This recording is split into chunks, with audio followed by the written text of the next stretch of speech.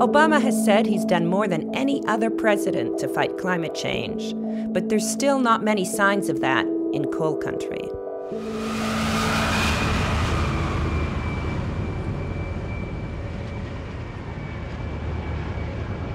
I'm standing in the biggest coal mine in the world.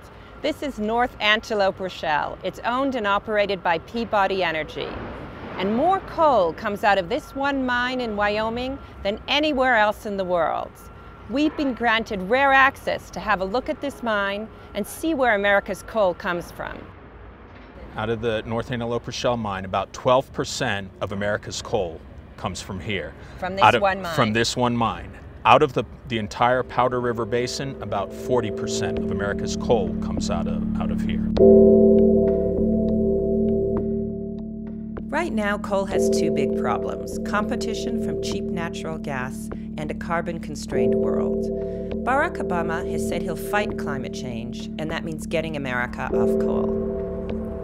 Internally, on that carbon report, does that uh, does the company account for the carbon that it produces? Does it have to? Not sure. Does uh, the company have a position on climate change or on what's the the party the party line? What's the company line? I mean, we've got yeah, just stop the stop the tape. Just one ton of this coal produces 3,700 pounds of carbon dioxide emissions. And there are billions of tons here in the Powder River Basin. Burn it all, and that's a lot of climate change. We have uh, what's called a carbon budget, which is the amount of carbon that can be uh, used in coal, oil, and gas combustion. Coal is in the biggest excess because coal is geologically very plentiful, so plentiful that if we burned all the coal uh, that uh, is known and that can be found and that can be uh, mined economically, we'd completely wreck uh, this world. So a lot of the coal is going to have to stay under the ground.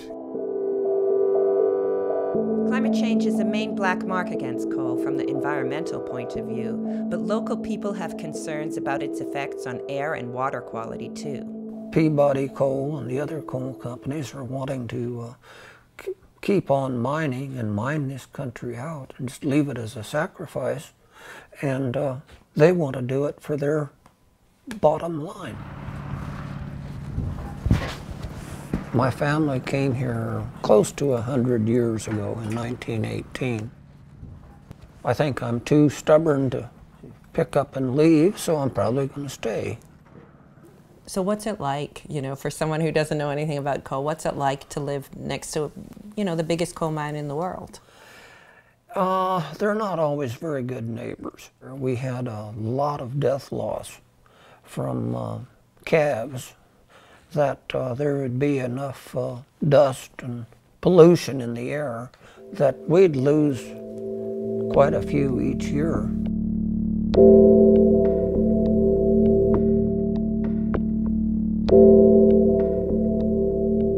Do I think climate change exists? No, I don't think it's. I don't think it's ever happened. Not truly. So Yeah. does coal produce the greenhouse gases that are climate change, which is what the EPA says? There are types of emissions that that come from that, but it's not. It's does it add to climate change? Not any more than the trees that grow in the forest and the cows out in the pasture and the carbon monoxide that we put out as human beings.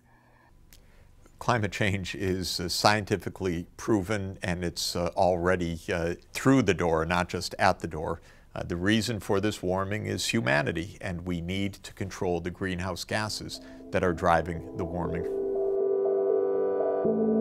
Now, Peabody told us off camera that they are making preparations to open up another huge tract of land for coal mining. That's all public land, which means it's owned by the American people. And Peabody reckons it contains another billion tons of coal. Coal's, coal's here to stay. It's not going anywhere. We're, we're currently about 40% of the, of the power generation in the country.